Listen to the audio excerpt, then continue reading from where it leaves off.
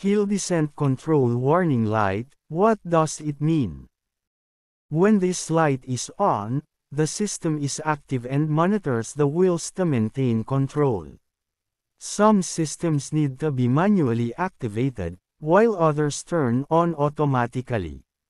Refer to your owner's manual for specifics on how your vehicle's hill descent control operates and when it can be used.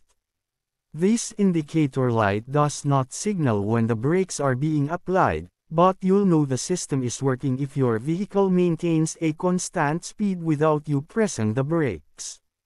Since hill descent control relies on the ABS any issues with the ABS will likely disable the hill descent control system. The hill descent control system is designed to keep the vehicle under control, so you should be using it when necessary. Even though the car is maintaining your speed, you will still need to be cautious when going down a hill. Always be prepared to step on the brake in case you need to slow suddenly.